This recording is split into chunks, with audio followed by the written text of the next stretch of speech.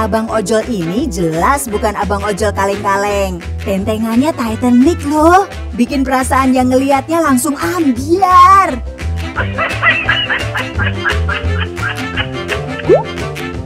Auto nyanyiin lagunya Ariel nih. Buka dulu topengmu, buka dulu topengmu.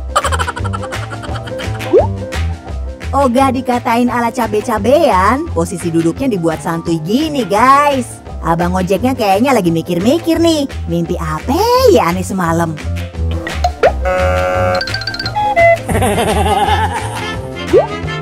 Boncengin Bapak Brimob gini pengen tahu deh yang dirasain abang ojolnya.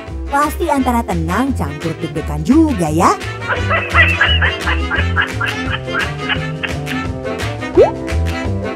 Motor sih keren, tapi helmnya nggak kuku bang. Gak dimarahin istri tuh, ntar nggak bisa masak loh istrinya di rumah. Gegara tabung gasnya raib dipakai suaminya ngojol. Hahaha. Eh, dah momen langka nih. Jemput Ultraman cuy. Kostum lengkap, siap bertempur.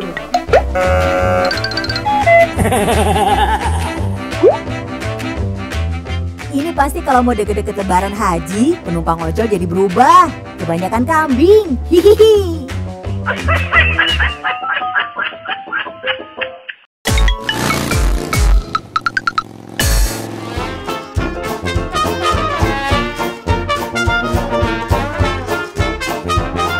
Biasanya kalau order ojol minta dijemput, ojolnya bakal ngechat atau nelpon customer untuk nanyain pakai baju apa. Ya enggak? Biar ojolnya gampang nyariin si customer. Apalagi kalau titik jemputnya di tempat keramaian. Nah hari itu Bang Arman kebetulan dapat order dari customer cewek. Nggak nyangka bakal ngalamin hal unik sesudahnya. saya punya pengalaman nih cerita. Gimana ya? Kalau dibilang lucu ya lucu banget gitu ya. Tapi saya juga agak-agak malu sebenarnya nyeritainnya. Jadi waktu itu tuh saya dapet orderan. Cinung kan di HP saya. Saya ambil tuh orderannya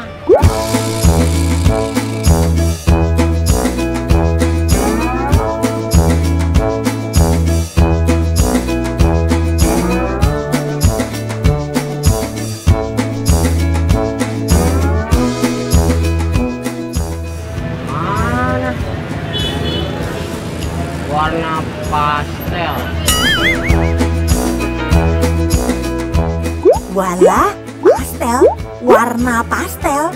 Lah mana? Kagak ada warna pastel dong ini. Mana sih katanya warna pastel? Wah gak ada. Saya cari-cari tuh celengak cenguk ya. Agak ada kan saya. Ma- mana yang pakai baju warna pastel, warna coklat gitu. Ya setahu saya kan pastel itu kan gorengan ya yang biasa dicocol pakai apa sambal kacang.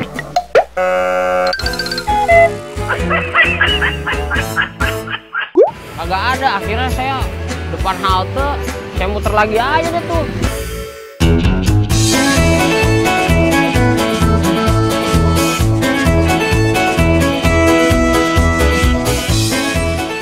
Saya muter lagi, saya nyari lagi, masih kagak ada juga.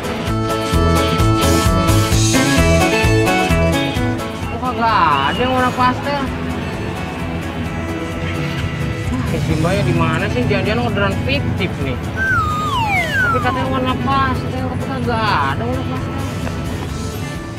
Warna pastel tuh kan pasti coklat-coklat gitu kan? Lah ini sumpah kagak ada warna coklat di sini. Akhirnya saya penasaran dah tuh. Saya berhenti, saya telepon aja mbaknya. Halo, Halo, Mbak, Mbak lagi di mana sini Mbak? saya di depan halte bang dari tadi. Abang di mana? Kok saya tadi dari tadi kagak ada ini nyariin di depan halte? Ya ampun bang, saya udah dari tadi di depan halte loh bang nungguin abang. Saya pakai baju pastel bang. Loh saya juga ini di depan halte Mbak, tapi kagak ada. Pakai baju pastel bang. Abang di mana? Coba, saya lampai tangan ya bang. Ah, ya udah ya oke oke Mbak ya saya ke situ. Lah saya kaget pas saya datang ternyata warnanya bukan coklat. Warnanya merah muda merah apa? Merah jamu kalau kata saya muda si abang dicari kan gimana sih bang? si mbak. Tadi katanya pakai baju warna pastel. Ini warna pastel bang. Pastel. Setahu saya mah pastel itu yang gorengan mbak yang dicocol pakai sambal itu sambal kacang.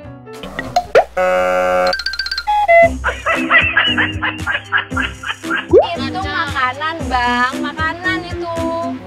Gimana sih, Bang? Beda.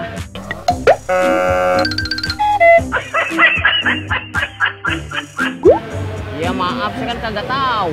Ya udah deh, ayo. Udah ya dah. Waduh mbak, Mbok ya tolong kasih info yang bener. Lah, saya kan kagak tahu ya.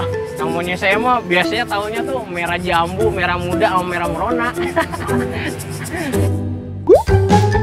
Bener-bener miscommunication yang luar biasa. Wah, ternyata emang gak gampang ya jadi ojol. Mesti belajar ngapalin warna pula, biar nggak salah nyari warna baju customernya. Hahaha.